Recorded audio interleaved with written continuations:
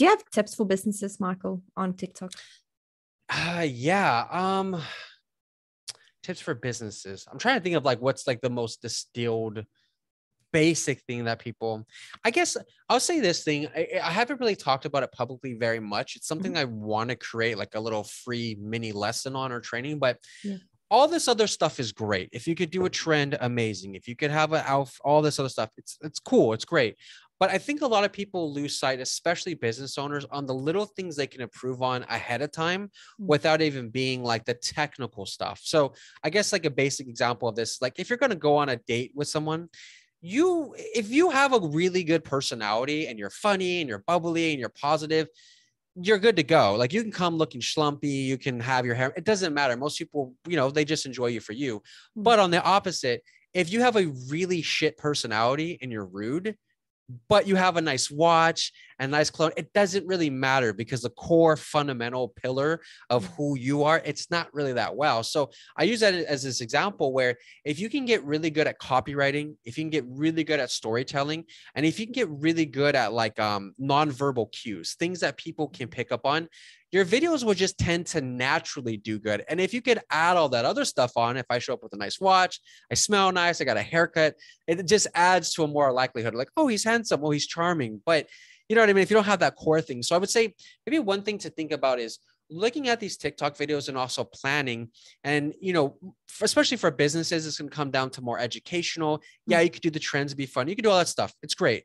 But if you're going to do more of the direct content, I would mm. say one, look at your body language. Like, really, for anybody who's watching the video right now, mm. if I'm like this and I'm like, I'm so excited to tell you about something. Um, this literally changed my life. It doesn't sync up. And I notice a lot of business owners, they're frozen, they're so rigid but if I was like, I'll kind of move my mic so I don't punch it. If I'm like, oh my God, guys, I'm so excited. Like all of a sudden, you know, we've evolved and we've grown up to see visual cues. I think there was a study where they showed a mom staring at her baby, stone face, doesn't make any facial expressions.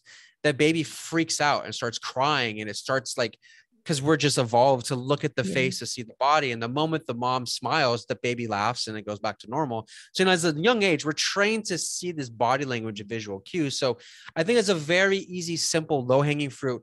Don't need to figure out any crazy TikTok stuff. If you can, one, figure out your body language, make sure it syncs up, use your hands. If you're going to use something like, here's something uh, if, watch the video if you guys can watch the video i'm pointing my fingers. Here's one thing you got to do right now to just explode. Like these hand gestures these big grandiose ones it just pulls you in. Maybe also the second thing i would say is tonality where i'm like if i said oh my god guys this is the most impressive thing it's like dude you sound so bored. But if i'm like guys you might want to turn the volume down i'm going to talk a little louder on the mic like oh my god guys this is crazy. Like that just makes you feel excited. You feel more eager eager. Or on the opposite if i'm like okay guys i got a secret for you but don't tell anybody. Like that lower tone pulls you in in the mm. natural way that you would normally do that.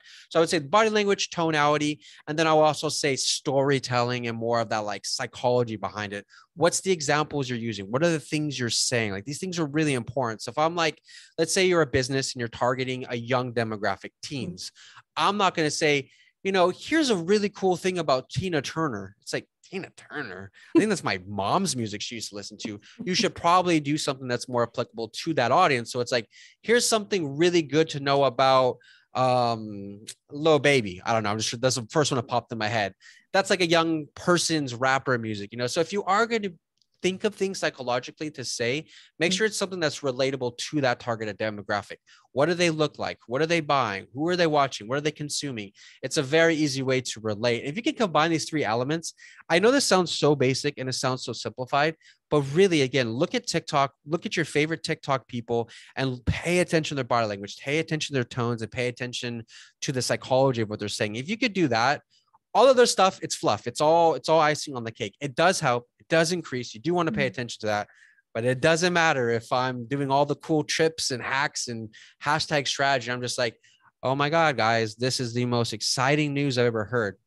No, no one's no one's inspired, no one's excited. So I think that would be some of the most basic stuff I would say um, yeah. from a fundamental thing. Maybe just like as a quick little 30 second, you know, crash course. I would say one, go on TikTok, go search up whatever the field is. Mhm. Uh, one thing you can do, and I would suggest doing, is when you search it up on the TikTok app, on the very top right corner, you get these little three line rulers where you can adjust the settings. Click that, it'll drop down, and then you can choose based off time frames now. So you can be like, I want to see content with this keyword that has it in it for the last seven days, the last 30 days, last 90 days. And I would say just consume that content. Look at what they're doing. I'm not saying rip them off and copy them, but look at Mhm. what's working for Joy, where it's like, oh, we're the same niche. She's talking about mom stuff. Okay, I'm a mom. Maybe I can get some ideas from there. Simple thing you could do, just Yeah. do that. I would say go into other people, your competitors' um, comments Mhm. and read their comments. See what people are talking about. Because a lot of times people will do something about, let's say, for example, I make a video about um, uh, substance abuse, let's just say, Yeah. about, you know, something that's really emotional. You might think it's like, oh, they want to hear about substance abuse. But if you look at the comments, it's like, oh, I have a family member that's dealing with that. I don't know what to do for them. It wasn't the that. The actual real true essence was that personal thing. And you can see people have 500 replies to that answer or whatever. That could be a cue to you to be like how to deal with substance abuse if your family member is a part of it. That's just going to work a little bit better. So you can start to get these better ideas and really understand more of the psychographic information of what's really, really happening there. Um, and I think the last thing I would say is don't don't overboard yourself. Don't try to do the most. Don't try to do 20 videos a day. Like take it with ease. I, I feel like a lot of people feel this pressure and they pump out content. They're doing all this stuff. They get burnt out. Something happens, they love it. Something doesn't happen, they hate it. It's such an emo- emotional roller coaster. I would say Mm. if you're going to do a video for that day, set a time boundary, have healthy constraints. I'm going to spend 30 minutes doing a video today. That's it. That's it. And be okay if you didn't finish it. Save it as a draft. I'll come back to it Mm. later. I think too much, too often most mm. of the business owners that quit, they're just like, I'm overwhelmed. And I'm like, I get it, but like Yeah. you just gotta you gotta get some consistency there and something that's like reliable. So yeah, hopefully that answers the question to That's some good. extent.